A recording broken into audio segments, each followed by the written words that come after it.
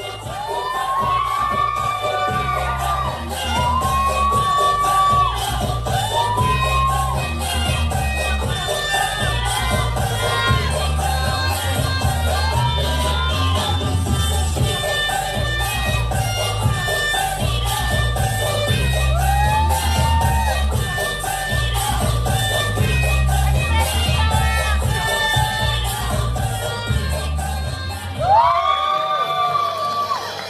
Mayang menari Badara Hui di acara TV, Roger dan Warta tak mau lihat sama sekali. Dilansir dari suara.com, Mayang Luciana Fitri menunjukkan bakat menarinya saat tampil di acara TV bagi-bagi ambiar baru-baru ini.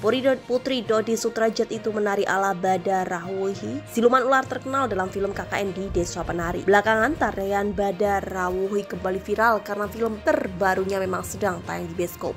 Diketahui MDM Picture merilis prequel berjudul Badarahui di Desa Penari pada 11 April 2024 lalu. Tarian Badarahui adalah gerakan seperti caipong yang diiringi musik tradisional. Meski terdengar ceria, tarian ini menyimpan kengerian di baliknya. Dalam episode terbaru Pagi-Pagi Ambiar, Mayang Luciana Fitri menampilkan tarian viral tersebut dengan luwes di depan bintang tamu lain. Bintang tamu yang ada di saat itu adalah pasangan Roger dan Warta dan Cut Meriska serta Aldi Tahir dan Salsabila. Aldi Tahir tampaknya menikmati tarian Badarahui yang dipersembahkan oleh Mayang. Bisa dilihat dari ekspresi wajah yang tersebut tersenyum saat melihat penampilan dari adik kandung almarhumah Vanessa Angel tersebut. Berbeda dari Aldi Tahir, Roger dan Warta justru tak melihat ke arah yang sama sekali. Dia malah sibuk dengan anaknya. Reaksi Roger dan Warta yang terkesan cuek ini tentu saja mengundang beragam komentar dari warganet. Salfok sama Roger nggak melihat Mayang sama sekali. Komentar akun Etna. Roger baru balik badan setelah lagunya selesai tambah akun Ed Deo.